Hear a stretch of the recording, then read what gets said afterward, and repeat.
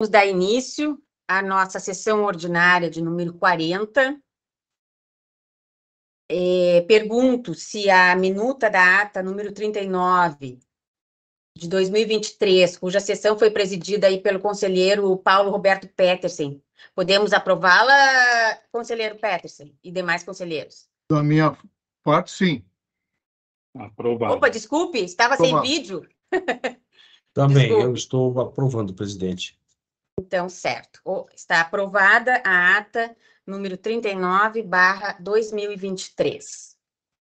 Vamos, então, para a, a nossa apreciação das matérias, com análise do processo 1088, 3900, 219, que trata do recurso da Corsã ao auto de infração número 40, barra 2022. 4, desculpe, número 4, Quatro. barra 2022. O relator é o conselheiro Algir Lorenzon e o revisor é o conselheiro Alexandre Alves Porce.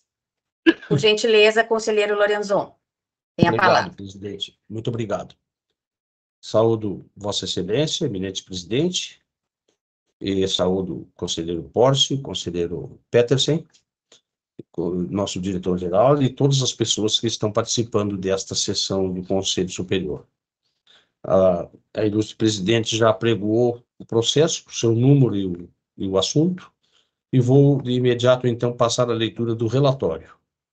Trata o presente expediente de recurso ao auto de infração 4, barra 2022, emitido para a Corsan, Companhia Rio Grandense de Saneamento, em decorrência de fiscalização realizada para analisar os procedimentos comerciais da prestação dos serviços, avaliar o cumprimento do regulamento do serviço de água e esgoto e da legislação do setor de saneamento.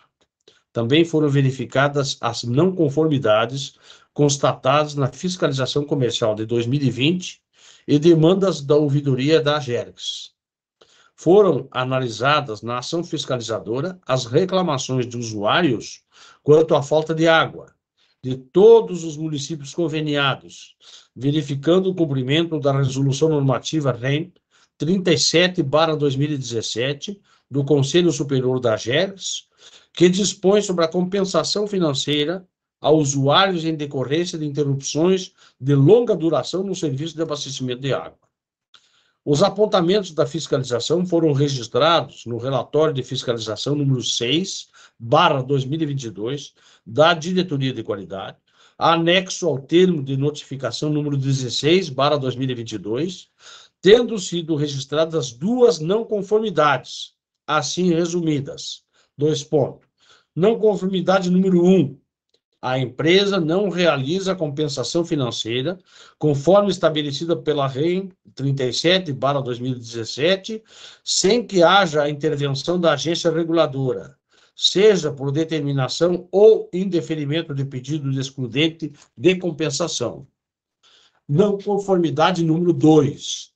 A empresa deixou de prestar as informações da forma como foram solicitadas pela equipe de fiscalização, nas duas primeiras solicitações, sem ter apresentado justificativas para tais alterações e omissões. Após análise das manifestações apresentadas pela Corsan, ao termo de notificação emitido, a equipe de fiscalização entendeu pelo não acolhimento às alegações apresentadas, recomendando a aplicação de penalidades. Conforme as infrações, enquadramento legal e dosimetria apresentadas na exposição de motivos, a Diretoria de Qualidade dos Serviços da GERGS decide, pela lavratura do auto de infração número 4, barra 2022, estabelecendo a aplicação da penalidade de multa no valor total de 101.250 reais, assim discriminada. Não conformidade número 1, 90 mil reais. Não conformidade número 2, 11.250 reais. Total, 101.250 reais. Oficiada da decisão, a companhia protocolou tempestivamente o ofício número 33, barra 2022, com recurso ao auto de infração. Apresenta suas alegações, em especial quanto ao enquadramento e dosimetria das penalidades aplicadas, requer a reconsideração da decisão para o fim de reduzir o valor da multa mediante dois pontos. A. Em relação à não conformidade número 1, um, a alteração da gravidade da infração para inexistente ou baixa. A alteração ao enquadramento dos danos resultantes para o serviço e para os usuários para inexistente ou baixo. Afastamento da multiplicação da multa por 4.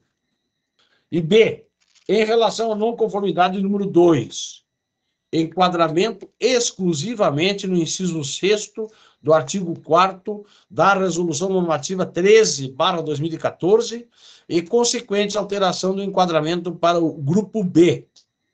Ainda, alteração da gravidade da infração para baixa, mais alteração do enquadramento dos danos resultantes para o serviço e para os usuários para inexistente ou baixo. E, por fim, alteração da classificação da vantagem oferida para inexistente. Após análise dos argumentos apresentados no recurso interposto, diante dos fatos e provas apresentadas e com base na informação 91 barra 2022 da Diretoria de Qualidade, esta decide pela não reconsideração da autuação, pelos fundamentos elencados na exposição de motivos anexa ao auto de infração, e oficia a Corsã da decisão. Mediante o encaminhamento 1287, barra 2022, a Diretoria Geral encaminha o processo ao Conselho Superior para deliberação final, nos termos do artigo 24 da Resolução Normativa 32, barra 2016.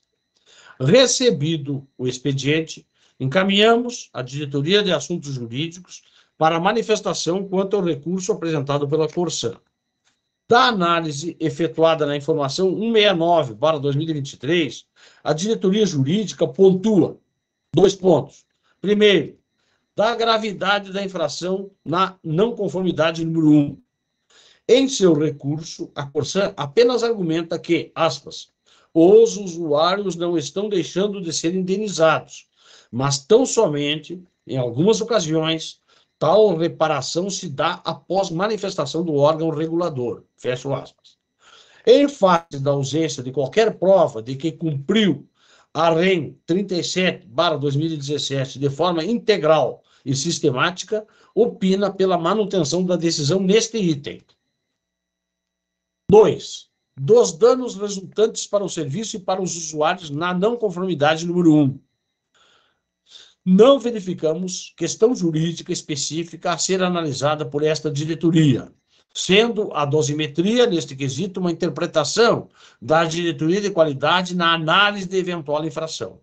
Portanto, opinamos para que sejam analisadas as argumentações constantes na exposição de motivos anexa ao auto de infração para a tomada de decisão.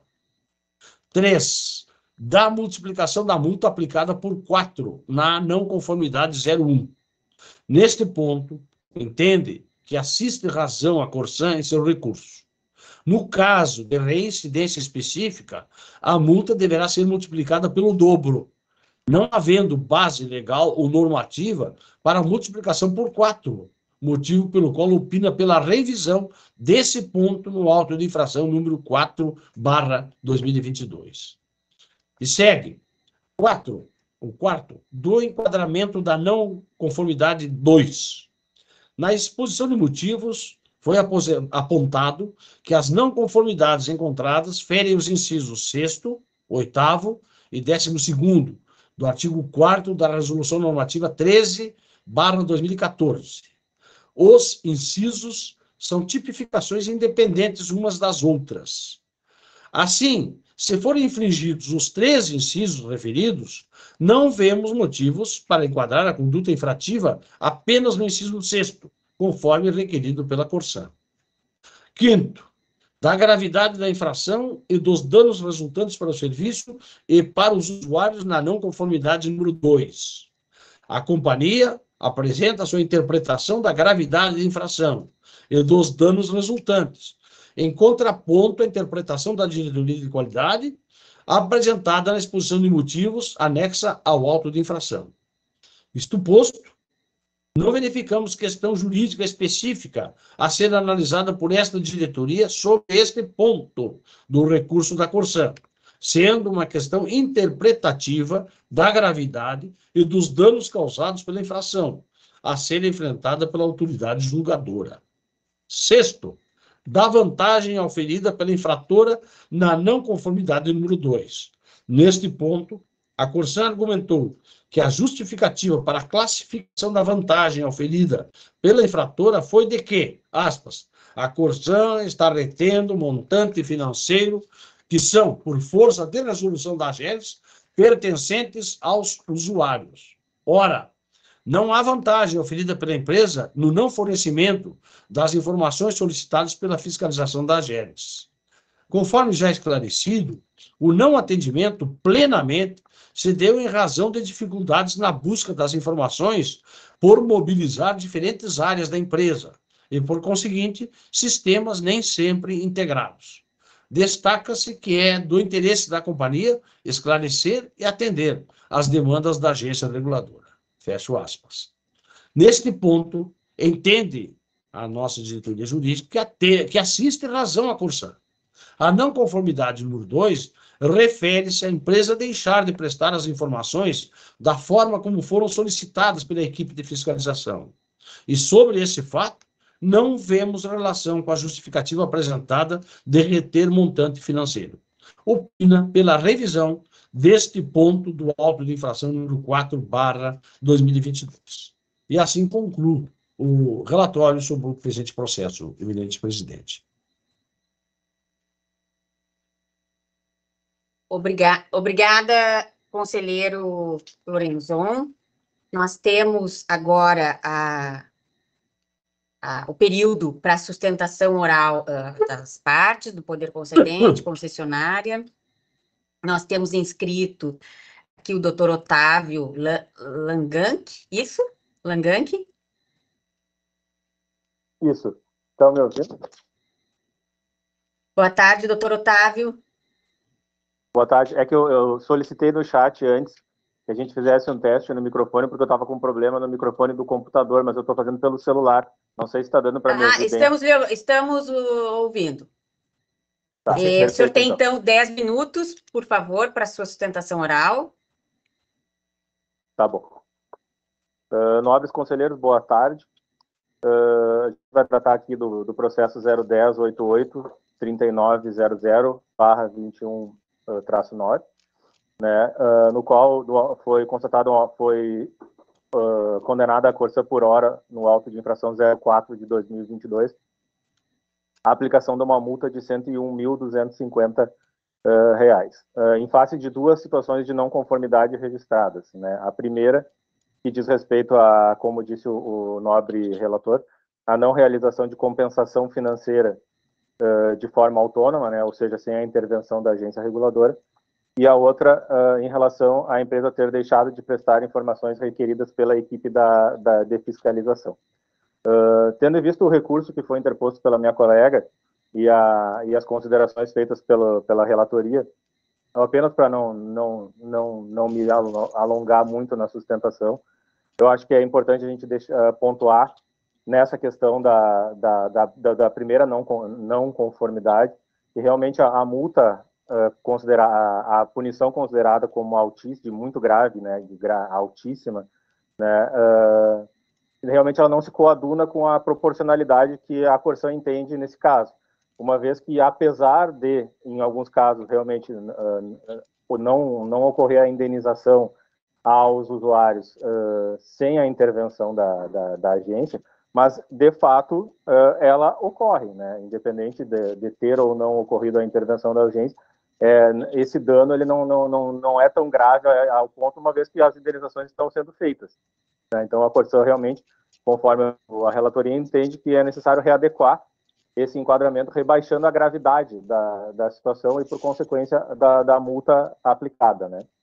Uh, importante de ressaltar também, como, como foi dito ali antes, que a, a, a, e como a princípio foi considerado pelo nobre relator, a multiplicação da, da, da multa por quatro se, se, se, dá, se, se torna ilegal, uma vez que a, a GERGS também deve obediência ao princípio da legalidade, e essa situação sequer é trazida nas, na, na, na, no, no regulamento e nas normas, então eu acredito que nesse ponto a Corsã também deva, de, deva ser reavaliada essa situação.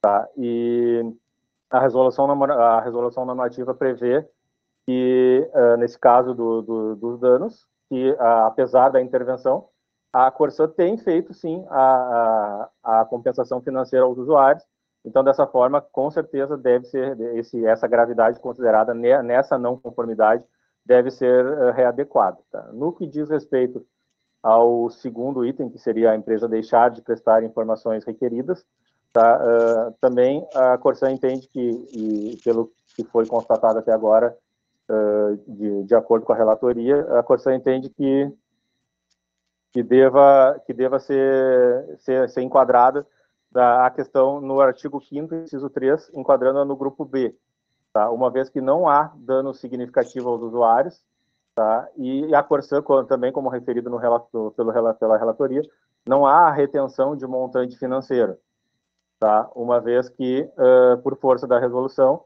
uh, a Corsã está indenizando. Então, é, é, essa, é, esse dinheiro não, não, não está sendo retido de forma ilegal ou ilícita pela, pela companhia. Então, nesses pontos, a, a Corsã pugna pela readequação, readequação nos termos uh, da, da, da, penalidade que lhe foi aplicada. Muito obrigado pela atenção. Obrigada, doutor Otávio. Nós não temos mais, é, só vou confirmar aqui, mas não temos mais inscritos né, do Poder Concedente. Então, podemos passar, conselheiro Lorenzon, para a fundamentação do seu voto, por favor. Pois não. Quero inicialmente, então, cumprimentar o doutor Otávio pela sua manifestação feita da tribuna em sustentação oral e dizer que estive, durante todo esse tempo, atento à sua manifestação, doutor Otávio. Vou agora, então, prosseguindo, eminente presidente, ler a fundamentação. A AGERBS atua na área de saneamento por previsão na Lei 10.931-97 e por delegação dos municípios mediante convênio específico firmado com a agência. A Lei Federal 11.445 de 2007 estabelece as diretrizes nacionais para o saneamento básico e exige a atuação do órgão regulador para a validade dos contratos de prestação do serviço de saneamento. Dispõe ainda em seu artigo 21 que, artigo 21, a função de regulação, desempenhada por entidade de natureza autárquica, dotada de independência decisória e autonomia administrativa, orçamentária e financeira, atenderá aos princípios de transparência, tecnicidade, celeridade e objetividade das decisões. A Diretoria de Qualidade dos Serviços da AGERES, diante de suas atribuições, realizou fiscalização junto à Corsã, a fim de analisar os procedimentos comerciais de atendimento à população nos municípios conveniados, o que culminou com a lavratura do auto de infração 4/2022. Conforme referido na respectiva exposição de motivos, tendo sido confirmadas as não conformidades apontadas e caracterizada a violação dos dispositivos regulamentares, as penalidades foram aplicadas de acordo com o disposto nos incisos 2 e 3 do artigo 18 da Resolução Normativa 32/2016, que disciplina os processos administrativos de fiscalização dos serviços públicos regulados pela GERGS e a aplicação das sanções regulatórias. O enquadramento das penalidades está fundamentado na Resolução Normativa 13/2014, que dispõe sobre as infrações e as sanções aplicáveis aos delegatários de serviços públicos, em razão do descumprimento da legislação, dos contratos e das normas regulatórias. Resolução normativa número 13, 2014, em seu artigo 4 diz: constitui infração sujeita a multa. Inciso 6 deixar de prestar a GEGS as informações requisitadas nos prazos regularmente estabelecidos. Inciso 8 deixar de atender o disposto nas resoluções e demais atos normativos da AGERGS. Inciso 12 deixar de cumprir outras determinações da AGERGS e demais disposições legais, contratuais ou regulamentares relativas à modicidade tarifária, eficiência, adequação e qualidade dos serviços prestados, de modo a impedir a eficácia da ação regulatória. Artigo 5 As infrações sujeitas à multa são classificadas nos seguintes grupos, conforme sua gravidade. É, inciso terceiro, grupo C, infrações objeto dos incisos 7 a 12 Parágrafo 1 na fixação do valor das multas, serão consideradas a abrangência e a gravidade da infração, os danos dela resultantes para o serviço e para os usuários, a vantagem oferida pela infratora e a existência de sanção administrativa irrecorrível nos quatro anos anteriores. Parágrafo 2. A reincidência específica implicará a aplicação de multa em dobro. Parágrafo 3. Entende-se por reincidência específica, para os fins de agravamento de penalidade de que trata o parágrafo 2 deste artigo, a repetição de falta de igual natureza no período de 12 meses após a decisão definitiva na esfera, na esfera administrativa. E artigo 7 para as empresas prestadoras de serviço água, de água e esgotamento sanitário, as penalidades de multa serão calculadas pelo montante do custo de fornecimento de água, apurado no ano anterior ao da ocorrência. E segue, grupo C, até o custo total produzido por 1.500 metros cúbicos.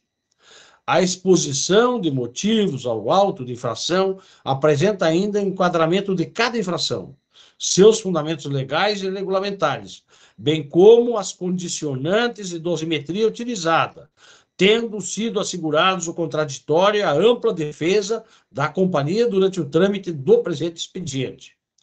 Na análise do recurso apresentado pela Corsan, a Diretoria de Assuntos Jurídicos, na informação 169/2023, a qual me reporto, opina pela revisão parcial do auto de infração, em especial quanto ao critério aplicado para a multiplicação por reincidência da não conformidade número 1 e a dosimetria aplicada quanto ao item vantagem oferida, entre aspas, para a não conformidade número 2. Assim sendo, acolhendo-se a indicação jurídica e mantendo-se as demais condicionantes já aplicadas pela Diretoria de Qualidade dos Serviços, resta a necessidade de adequação dos valores de cada penalidade. Utilizando-se as tabelas apresentadas na exposição de motivos e atualizando-as com os novos critérios, obtém-se A. Para a não conformidade número 1. Condicionante. 1. Gravidade. Avaliação 100%. Ponderação 50%. Resultado, 50%. Danos.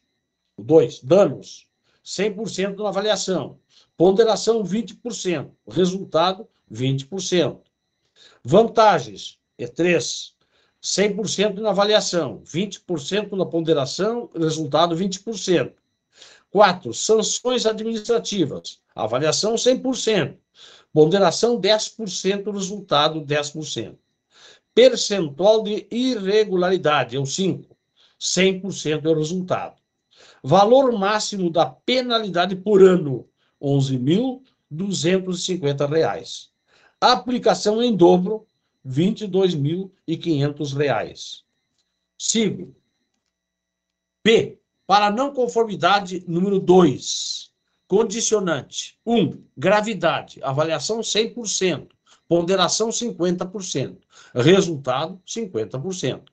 Danos 2. Avaliação 100%, ponderação 20% e resultado 20%. Três, vantagens. É, avaliação 0%, ponderação 20%, resultado 0%. Quatro, sanções administrativas, avaliação 100%, ponderação 10% e o resultado 10%. Ah, e o 5, percentual da irregularidade, 80%. Valor máximo da penalidade, número 6, R$ 11.250. Valor da penalidade, 9 mil reais. Logo, pense a seguir o total das penalidades com as novas condicionantes utilizadas, resultando no valor total de R$ 31.500, a ser aplicado em decorrência do auto de infração número 4, 2022, sendo, para a não conformidade número 1, R$ 22.500. Para a não conformidade número 2, R$ 9.000. Total, R$ 31.500. Por fim, deve-se fazer referência ao destacado pela Diretoria de Qualidade dos Serviços na fundamentação das penalidades aplicadas sobre o não cumprimento sistemático do pagamento de compensações financeiras aos usuários em decorrência de interrupções de longa duração, o que já vem sendo apontado pelas fiscalizações da Agélix desde 2018, de forma recorrente, sem que a Corsan apresente a devida regularização.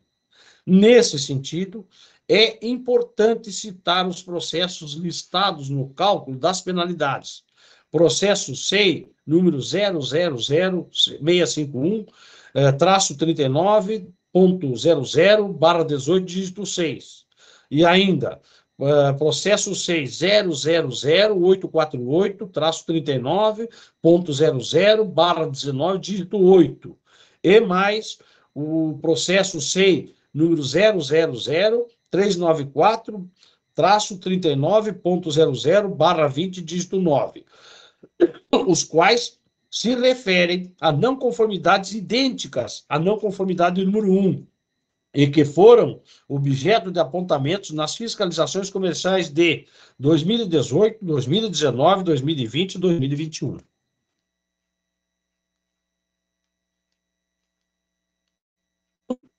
Desculpa. Esses expedientes resultaram em aplicação das penalidades devidamente julgadas em definitivo, com o consequente recolhimento das multas. Entretanto, cabe lembrar que a imposição de sanções não tem finalidade arrecadatória e visa a regularização e o desestímulo às práticas irregulares por parte dos delegatários, de maneira a evitar prejuízos causados pela prestação de serviços públicos inadequados. Assim, eminentes presidentes, eminentes conselheiros, diante de tudo que foi exposto, eu vou agora proferir o meu voto. Posso fazê-lo, senhora presidente? Sim, por favor, conselheiro. Posso, então, dizendo que estou votando neste processo por, primeiro, conhecer e dar parcial provimento ao recurso apresentado pela Companhia Rio Grande de Saneamento S.A., Corsan, definindo o valor de R$ 31.500 para a penalidade de multa aplicada mediante o auto de infração número 4 barra 2022. 2. Oficiar a Corsan para o pagamento da penalidade no prazo de 10 dias, nos termos do artigo 27 da Resolução Normativa 32 barra 2016. Assim é como voto, eminente presidente, senhores conselheiros. Obrigada, conselheiro Lorenzon. Passamos, então, à revisão do conselheiro Alexandre Porce. Por favor, conselheiro. Item 3 da revisão. Em conformidade com o regimento interno da GERGS, revisei o relatório e confirmo sua correção quanto à descrição dos fatos. Quanto ao mérito, reporto minha fundamentação apresentada pelo conselheiro relator, acompanhando seu voto. Certo. Muito obrigada. Conselheiro Petersen, alguma, alguma observação no período da discussão? Nenhuma observação, conselheira. Então, é, conforme o regimento, passo ao meu voto também. Acompanho integralmente o voto do conselheiro Algir Lorenzon.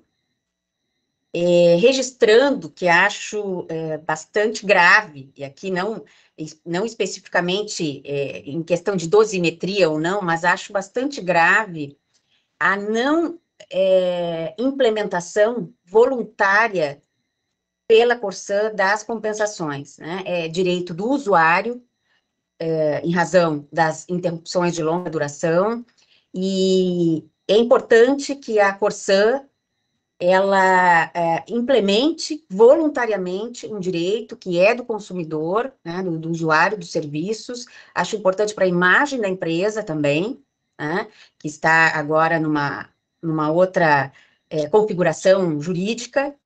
que estes direitos do consumidor sejam respeitados, né? E é que é o, que, é o, que a GERGS é, vai é, fiscalizar permanentemente. Com isso, então, renovo aqui né, o meu voto, acompanhando integralmente o conselheiro Algir Lorenzon e passo para o voto do conselheiro Paulo Roberto Petersen. Acompanho o relator. Certo. Então, o voto, o, a decisão né, do processo 1088-3900-219 é, é, do Conselho Superior é por conhecer e dar parcial provimento ao recurso apresentado pela Corsan, definindo o valor de R$ 31.500 para a penalidade de multa decorrente do auto de infração número 4 barra 2022. E aqui quero, antes de passar para os nossos próximos pontos da, da pauta, registrar e agradecer a presença dos municípios de Canoas, Garibaldi, Farroupilha, Veranópolis e Ilópolis.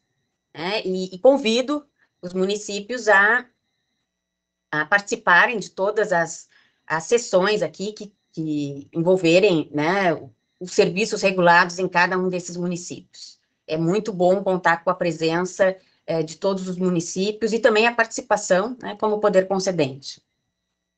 Dito isso, podemos passar para o item 3 das comunicações.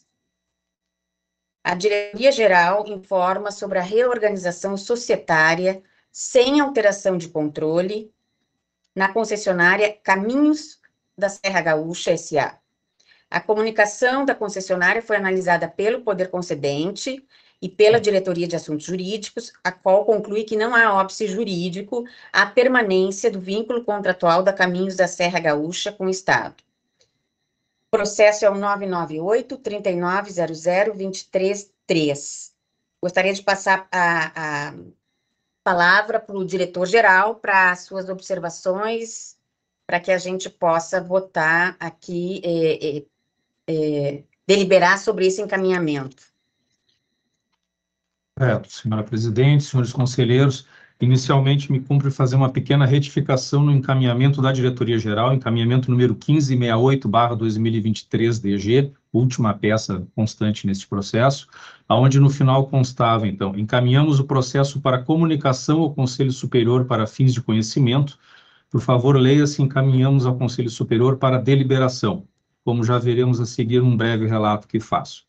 Uh, Trata-se, então, do contrato número 50 de 2022, que é o contrato de concessão com a empresa Caminhos da Serra Gaúcha, concessionária Caminhos da Serra Gaúcha. A concessionária, então, inaugura esse expediente com um ofício encaminhado para a Gergs e também para a CELT, para a Secretaria Estadual de Logística e Transportes, é, informando o interesse de sua acionista Silvia e Bertoli Empreendimentos e Participações S.A., detentora de 50% das ações de emissão da concessionária, na implementação da reorganização societária e patrimonial, onde os atuais únicos titulares das ações da Silvia Bertoli pretendem transferir a, tota-, totalidade das ações de emissão da Silvia Bertoli para a Petra Investimentos e Participações Limitada, da qual serão também os únicos titulares. É, o processo foi analisado pela Secretaria de Logística e Transportes, onde fizeram uma análise preliminar, entendendo pela regularidade, por não haver nenhum óbice com relação a isso. Entretanto, nós temos que o contrato, na sua cláusula 25.3, é, sob o título da 25, que é controle societário, ele prevê, quando se trata em qualquer hipótese de alteração de controle societário, que a AGERGS opinará previamente a decisão do poder concedente acerca do pedido de transferência do controle societário da concessionária.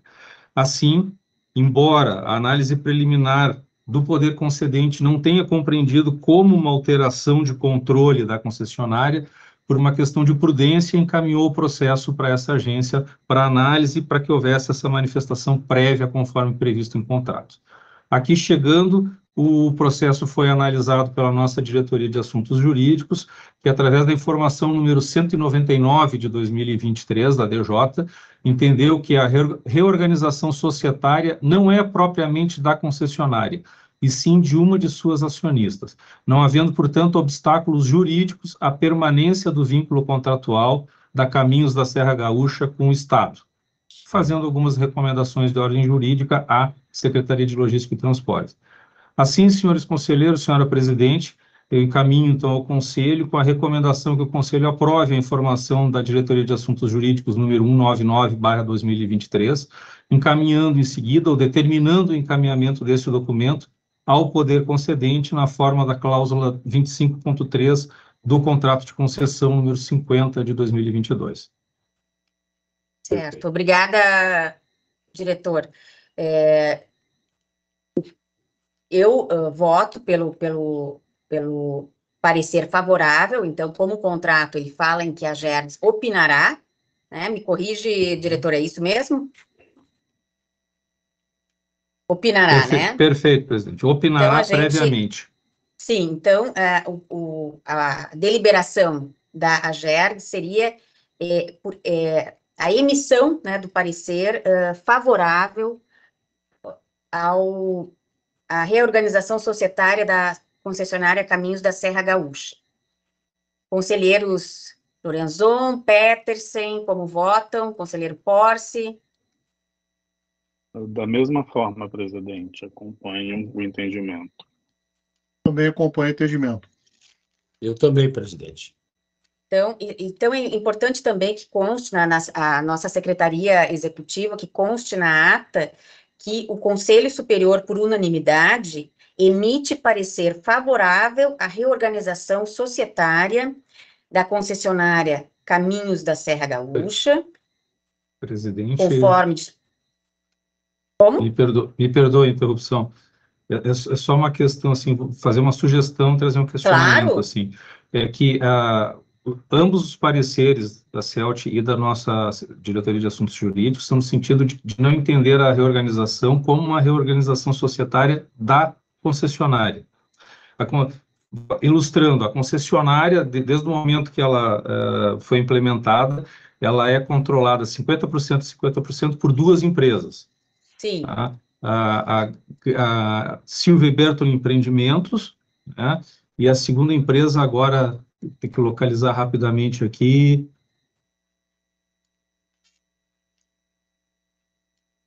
sempre que e Gregor Participações Limitadas. Uhum. Então, a concessionária mantém, ela permane não tem nenhuma alteração no contrato social da concessionária em relação às suas participações. 50% para Silva e Bertoli se manterá, 50% para Gregor se manterá também.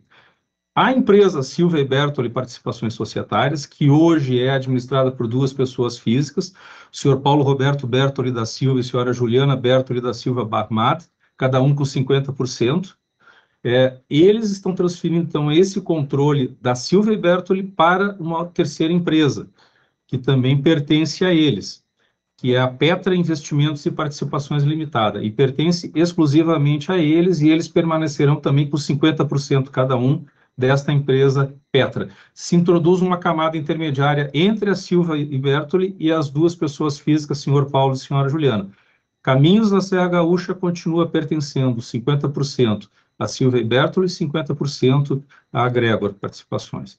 Tá, então, é... então, quem sabe, diretor, sugere, o senhor pode sugerir a redação para que conste eu, na nossa... Eu, eu, eu, acho que no sentido de opinar que não, não, não vislumbramos óbice a reestruturação sugerida ou solicitada. Não me preocupa o termo reorganização societária da concessionária. Alteração societária, então. Pode ser. Então, então quem sabe, porque como nós temos que emitir um parecer favorável. Ah, desculpa. Oi, conselheiro. Ah, acho que é reorganização societária de acionista, como está ali no, uh, no início, né? porque é um acionista dessas uh, empresas que uh, que está tendo essa reorganização. Talvez só essa precisão ali para ficar mais claro. Que não é Perfeito, é propriamente altera ah, alteração societária. Então vamos, né? vamos refazer. Parecer favorável, porque eu acho que a gente tem que, né, favorável ou não, então, favorável à reorganização societária, societária de acionista, conforme é, é, proa, daí a gente coloca o número da ata, conforme da, da ata, não do processo, na ata, né? é, nós alcançamos aí para para a nossa Secretaria Executiva. Então, não, o conselho, então, vamos resumindo. O Conselho Superior, por unanimidade, a, emite parecer favorável, conforme é, previsto em contrato, no contrato de concessão, a reorganização societária do acionista, da Caminhos, da concessionária Caminhos da Serra Gaúcha, conforme processo remetido pela CELT, Celt. AGERX.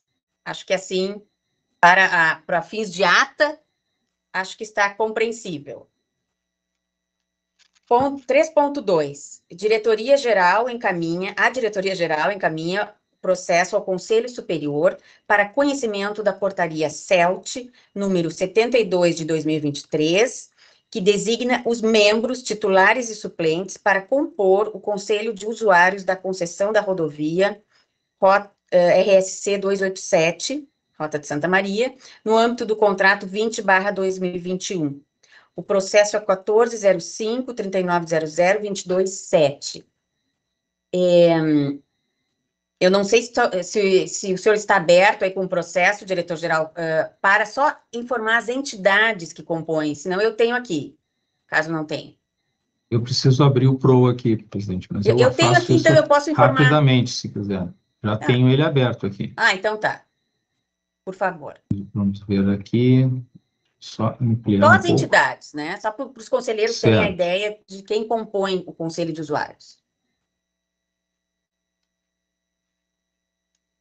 Eu dou o número também. A portaria, então, número 72, de 21 de setembro de 2023, já devidamente publicada no Diário Oficial do Estado, e indica, então, titular e suplente representando a Federação das Indústrias do Estado do Rio Grande do Sul, FIERGS, titular e suplente representando o Sindicato das Empresas de Transportes de Carga e Logística no Estado do Rio Grande do Sul, SEPSERGS, titular e suplente representando a Federação das Associações de Municípios do Rio Grande do Sul, FAMURS, titular e suplente representando a Federação das Empresas de Transportes Rodoviários do Estado do Rio Grande do Sul, FETERGS, titular e suplente representando a Associação Brasileira dos Usuários de Rodovias, titular e suplente representando a Federação do Comércio de Bens e de Serviços do Estado do Rio Grande do Sul, FEComércio, titular e suplente representando o Sindicato dos Trabalhadores em Transportes Rodoviários de Santa Cruz do Sul e região, o SIND Rodoviários,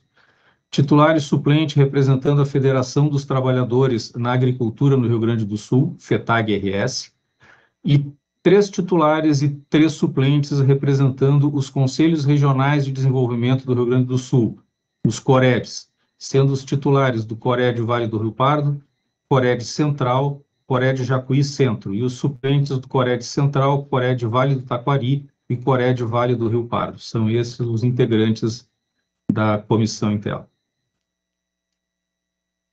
Certo. Obrigada, diretor. É, item 3.3 está pautada para o dia 10 de 10 de 2023, na sessão 41/2023, análise do processo número 132 3900 230, que trata da recomposição do equilíbrio econômico financeiro em razão do atraso na aplicação do segundo reajuste tarifário da concessionária Rota de Santa Maria SA, em que temos o relator, o conselheiro Alexandre Alves Porce e o revisor o conselheiro Paulo Roberto Petersen. Temos também o item é, 3.4, recebimento de e-mail do vereador Vinícius Araújo, solicitando agenda com a presidência da AGERGS para tratar sobre a energia elétrica no município de Camacuã.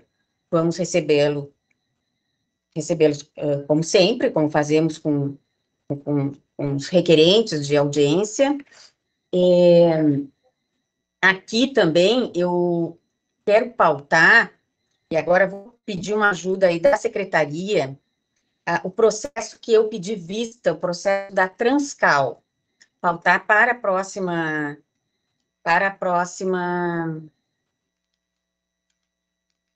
é, reunião, a sessão, né? Se a, se a, se a nossa assessora Eleonora puder nos, nos informar aqui qual é o número da Transcal para deixar já é, eu aqui na minha, na minha lista de processos eu não encontro rapidamente, mas o processo está comigo.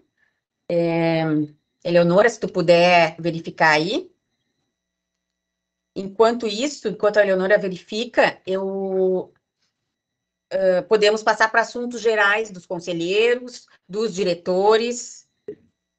Conselheira, esse processo da Transcal eu fui relator, é o processo 001391 traço 39.00 barra 22 traço 4. Ah, então, só deixa eu... 00 391. 001391 traço Tá. 39.00 barra 22 traço 4. Tá, ótimo, obrigada, conselheiro. Então, aqui é, podemos já pautar para a próxima. Alguma, alguma observação, Eleonora? Não, perfeito, é isso mesmo. Tá, é, Obrigada, eu peço desculpa aqui, porque não, é, não é, coloquei na pauta, mas cheguei ontem de férias, já na correria, né? Mas já vi que o processo está comigo, então retornou da Diretoria de Assuntos Jurídicos e podemos pautá-lo. É, em assuntos gerais, então, é, já é, abro a, a palavra para os diretores, para os conselheiros. Eu tenho um Obrigado, comunicado. Ah, posso fazer? Claro, conselheiro. Sim, ah, gostaria de informar que no dia 24, ah, que é uma terça, a gente deve ter sessão, eu vou estar em deslocamento para um congresso científico em Belém do Pará, então não poderia participar, porque coincide exatamente no meu horário ali, que a universidade disponibilizou de passagem no horário da nossa sessão. Então, para a gente não pautar nenhum processo que seja relator ou, revisor nessa data. Tá Que certo. dia é? Que dia é, conselheiro? Pórcio? 24, 24 agora de outubro. 24 de novembro, de outubro. Perfeito. Isso. Mais alguma coisa, conselheiros? Minha parte não, presidente. Obrigado. Também não. Diretor-geral, diretores? Nem nada, nada a registrar, presidente. Obrigado. Então, podemos encerrar essa nossa sessão, sessão 40, barra 2023. Desejo uma boa semana a todos os conselheiros, diretores, aos que nos assistem, aos demais colegas também. Um abraço, até a próxima terça. Vamos para a nossa sessão administrativa, então. Perfeito.